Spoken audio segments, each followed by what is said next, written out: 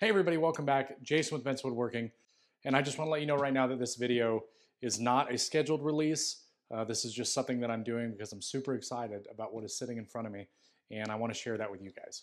Most of you guys know that I like wearing a shop apron when I'm in my shop. You've probably seen the other shop apron that I have, uh, either wearing it around in the shop, over on Instagram. The aprons that I wear are from my friends Patrick and Michelle at Leather by Dragonfly, what was previously known as Dragonfly Woodworking and Leather. I've partnered with them to make a new apron, one that I find to be more suited to me and my shop. And I'm really excited because what's in this box is exactly that, and it's finally here. So I'm gonna go ahead and open this up uh, and walk you guys through the steps. I'm gonna get everything set up and let you guys see a closer view of it.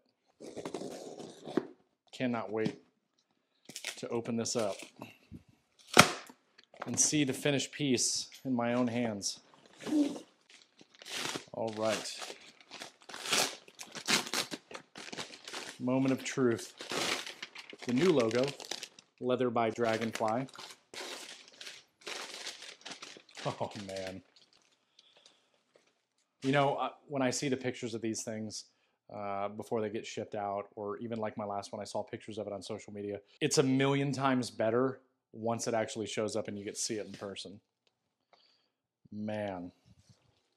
All right, I got all the plastic off, and now I'll go ahead and hold this up for you guys to see it.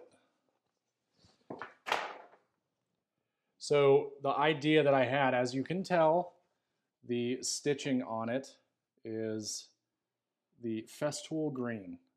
And I know that that's probably super shocking for a lot of you uh, that I decided to go with that. But it's something that was kind of an idea uh, after talking with Patrick one day. It just kind of started out as a joke. Uh, and then he has a black uh, apron with like the woodpecker red stitching. And I really, really liked it. And it got me thinking. And this was the end result. And I could not, could not be happier. I'm going to go ahead and actually put this on real quick. So let me get my microphone out. Put my microphone back into the pocket that I had specifically made uh, that would be able to hold my microphone right here. So the last time I put one of these things on, the last time I put mine on, as soon as it came out of the package, it was a perfect fit, and this is exactly the same. This thing is just awesome. I absolutely love the the green and black stitching. I'll come over to that side so you guys can see a closer look. That green with the black. Man, it looks awesome. So there was just a couple of changes uh, that I wanted to make. One, I took a little bit out, stuff that I had in my apron that I just realized I wasn't really using all that much. But for the most part, about 85% is the same. I moved the location of my square, uh, my remote, and another little multi-tool that I have is gonna go down here just like they did on the last one. Um, basically what I did is I got rid of everything that was right here. Uh, and not that it was ever in the way, but the way that I'd be reaching into the pockets, it just didn't make a lot of sense uh, after I figured out the way that I work. So I did uh, something a little bit different, and now I have a utility pocket, right? So I can put anything that I want inside of this pocket, and that was probably the biggest reason I made the change. And then this pocket right here is great for like if I have screws, uh, using dominoes or whatever, I can throw that in that pocket and just work out of that pocket for that specific project. Uh, tape measures, whatever. I've got a tape measure clip here. I have a couple tape measures that I use. And then I really stepped it up with the amount of marking devices that I use.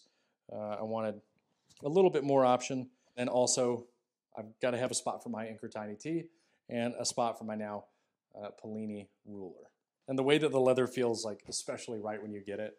And I'm so glad that I did it.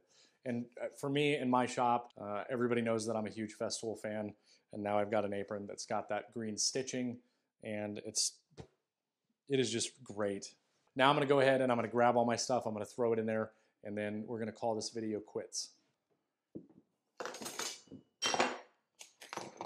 Got all my stuff out.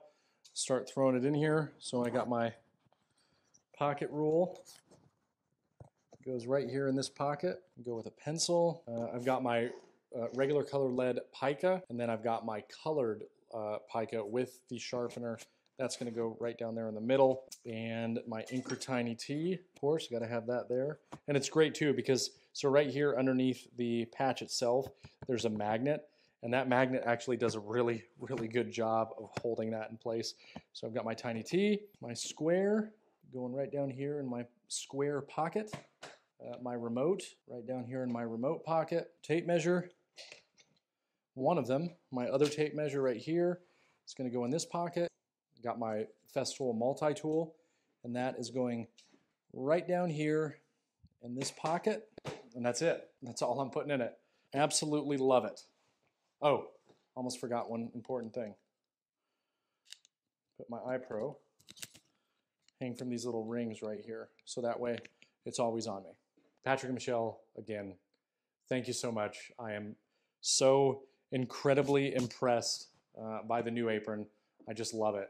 And I cannot wait to put it to work tomorrow because I will be wearing it all day uh, working on another project. I'm going to leave a link to their website down in the description.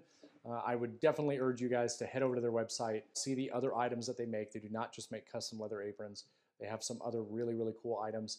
Holidays are right around the corner, uh, and they have some great uh, items that you can give as gifts. And on top of all of that, they are fantastic people and have become very good friends.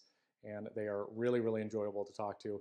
And if you want to find out more about the entire process, what goes into making this, you can check out the video on my last apron where it actually shows me go through the process of coming up with my idea, sitting in the uh, video conference, marking everything down, them getting it done, sending it back to me. And it was just, it's just a great, very, very cool experience. So Anyway, I'm going to go ahead and wrap this video up. I think I've rambled long enough.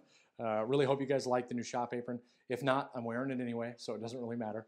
That's all I got. I'm going to go inside, go to bed, come back out here, get back to work tomorrow. See you guys all next time.